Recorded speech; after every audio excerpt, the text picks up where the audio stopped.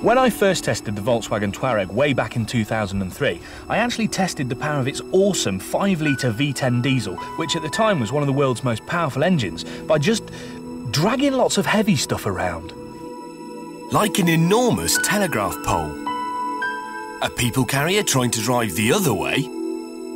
And a 7 tonne combine harvester. That mega engine, with its whopping 750 newton meters of torque, pulled all of those things with ease. For three years, I've been looking for something big enough to justify both mine and the Touareg's pulling prowess. Well, I think I've found it. A 155 ton Boeing 747. It's got a 200 foot wingspan. It's over 230 feet long. It's over 60 feet tall! To buy one new will cost you around $230 million, and that doesn't include leather seats. When you see these things land on the telly, these wheels look kind of small, but there's 18 of them on this 747, and they're all three feet tall. If the Touareg tows this, we reckon it'll be a new world record for the heaviest thing towed by a production car. What ho, Ginger? We're coming in over Berlin and we're not stopping. Da da da da da da da da.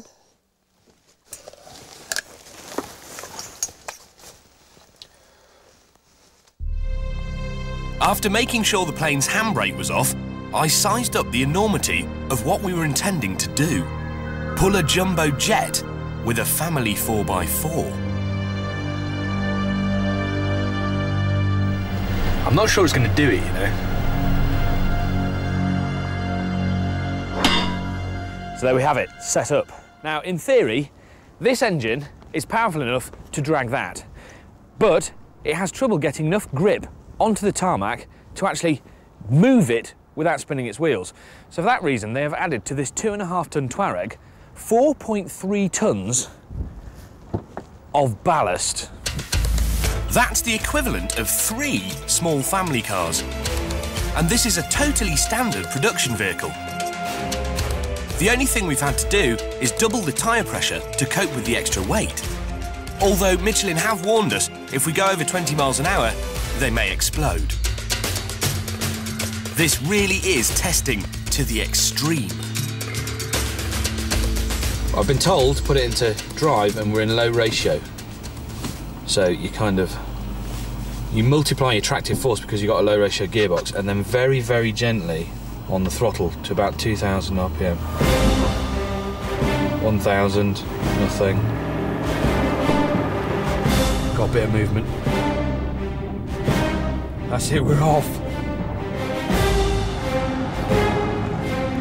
About 1,600 RPM and I'm pulling a 747 with a Touareg.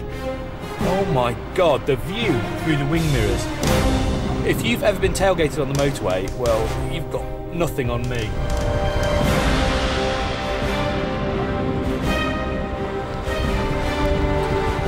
Well, this feels quite odd. Just got to be really gentle with the throttle, but it, it's not bogging down or, or doing anything weird. It's just it's just pulling it. That's 155 ton on the back of this, and you're kind of aware of it, but oh god, look in the rear view.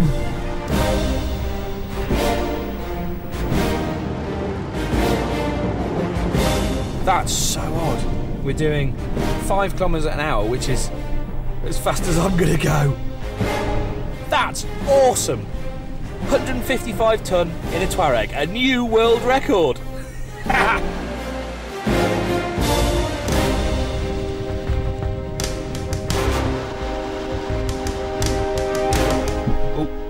Right, I've backed off a bit now. Just gonna let it roll to a stop. We can't put the brakes on because apparently it burned the discs off the car, so we just have to let it go down. Very last minute, we just apply some brakes. There you go. A little bit of a thump there, and we've stopped. See, he's trotting around off-road and everything's cool until he tries to get up a slope from the flat. And if you watch, the front end digs in before the front wheels have a chance to get some purchase and drag him up the slope. Same thing happens if he tries to reverse up. Look.